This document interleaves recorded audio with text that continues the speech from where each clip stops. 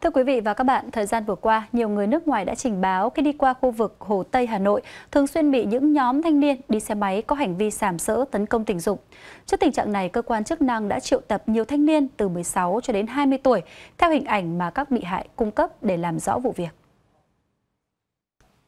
Lãnh đạo Công an quận Tây Hồ Hà Nội cho biết vào tối ngày 26 tháng 2, đơn vị này đã triệu tập một nghi phạm À, vụ án tấn công tình dục hàng loạt người nước ngoài sống quanh khu vực Hồ Tây. Nghi phạm được triệu tập trú tại Ba Đình, Hà Nội. Đồng thời, lực lượng chức năng cũng tiến hành mời các nạn nhân nữ người nước ngoài lên cơ quan công an để xác nhận nghi phạm.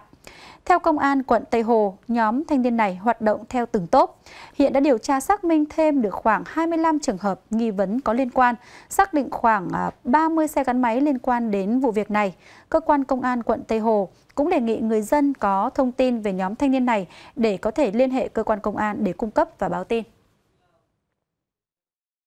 Và trước đó thì nhiều nạn nhân, chủ yếu là phụ nữ, người nước ngoài, đã có những phản ánh khởi tố về việc à, xung quanh khu vực Hồ Tây thường xuyên bị những nhóm thanh niên trẻ tuổi từ 16 cho đến 20 tuổi đeo khẩu trang, đi xe máy, che biển số, à, đi qua và có hành vi sàm sỡ, tấn công tình dục thô bạo vào các bộ phận nhạy cảm. Thậm chí là có nạn nhân còn tố cáo bị nhóm đối tượng bóp cổ, dùng dây thắt lưng vụt ném gạch vào người. Vâng, có thể nói là các vụ việc này khiến cho nhiều phụ nữ ngoại quốc tại Hà Nội rất là sợ hãi hoang mang khi đến với khu vực Hồ Tây và họ còn không dám ra đường vào buổi tối. Còn trên uh, mạng xã hội Facebook thì một nhóm có tên là Hà Nội Night Watch cũng đã được lập ra để mà thông tin về những trường hợp bị sàm sỡ và khuyến cáo những cách tự bảo vệ an toàn bản thân hoặc là hướng dẫn trình báo công an.